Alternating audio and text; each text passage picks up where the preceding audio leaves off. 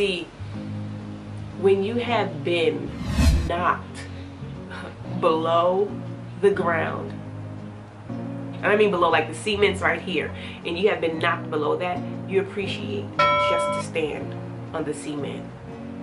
Just to sit on the cement. Just to get your hand on the cement so you can pull yourself out up from under the ground. And if I didn't go through a lot of bad situations, I wouldn't be able to appreciate the ground.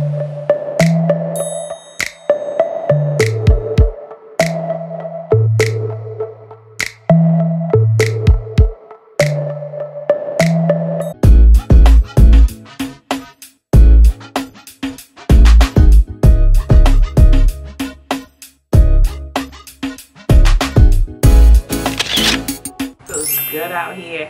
Hey everyone. Welcome back to our channel the soaring seaward family. And happy friday. Welcome back to another friday mommy moment. And no you do not have to be a mommy to enjoy this moment. All you need is a moment.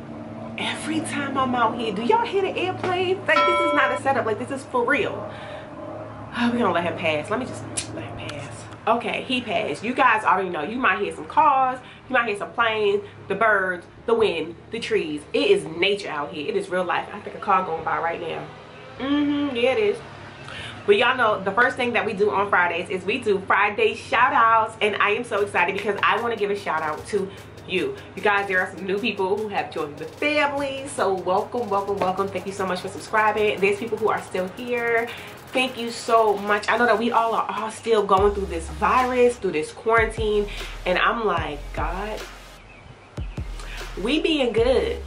Like we just you know we we doing what we supposed to do. Other people not but i'm ready to come up out of this. And then they talking about the hornet bees thingies? Oh so shout out to you. Keep on doing what you're doing. Let's make it through this. Keep using precautions. Wear your mask. If you have them, wash your hands. Do everything that we need to do so this virus can stop spreading and we can hold on to our loved ones. So shout out to you. Let's jump into this week's topic. I'm ready for it. Okay, that was a little too excited.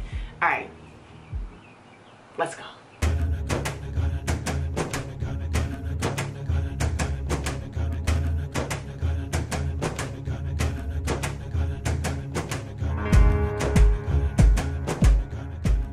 Sure to check out Seaward Creations at etsyshop.com where you can get customized moment mugs and moment mugs designed by the Soaring Seaward family.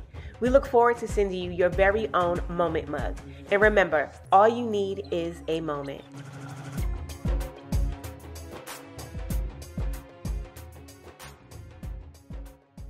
Okay, cool. So today I'm just gonna kind of like just talk and kind of lead you through what happened, okay? The other day we was out and we was all in the yard and my mom happened to come outside and you guys know my mom has um, kidney failure and she is not a candidate for a transplant or dialysis. Um, so uh, me and my husband, we take care of my mom. She happened to come outside and join us and we decided that we was going to start planting some vegetables my mom that I know, she loves vegetables. Um, she don't love them anymore because I can't get her to eat right for nothing. She always was into gardening and planting. Most people who know me know that about my mother. And I had a flashback and it was a good one. A lot of times when I talk about my past and my relationship with my mom and my dad and my family, it's not usually the best. Um, it's good moments there, but it's not too many times that I dip back there but I remember when I had choked and I had stopped eating and I went through a lot of um, medical issues because I had stopped eating because I was afraid that I was going to choke again and my mom and them didn't know. Like I was hiding it wearing big clothes because I was a tomboy. And when she did notice one day when I was getting dressed she came in my room uh, she rushed me to the hospital. But my mom had tried to do all these things to get me back eating again. And I do remember that being a period of time where I remember my mom trying things to make sure that I was eating because she didn't want me to have to stay in the hospital and they feed me through it too. I remember that very clearly, but it came back and it wasn't a, I didn't feel sadness. I didn't feel um, hurt. I didn't feel like my mom was just the worst or that I didn't have anybody. I felt good. And I remember that my mom used to make this corn dish. And she used to make it just for me. And she would put corn in the pan and um, she would put uh, tomato, salt, pepper. Uh, my mom can't cook, you guys. She's not the greatest cook, but this meal was good. And she would put two pieces of bacon in it, so get bacon juice in it. I remember that. And she would give it to me, and I would eat that. And I know you're probably like, okay, she gave you corn. But sometimes, um, when you have been through so much and you're going through so much, and my mom actually told me this uh, a few months ago. She said, sometimes I feel like you only can remember the bad stuff. And I told her, I was like, well, when the bad is so bad, you really don't remember the good. And I was excited that I remembered that moment with her while she's still here and she got to see and we got to talk about it and shared it with my husband. And it was a great moment. Sometimes God can take a bad situation and produce good fruit from this situation. A lot of bad fruit was in my past but from that, I was able to appreciate this good moment that I just shared with my mom and remembering what she did for me and how amazing that was.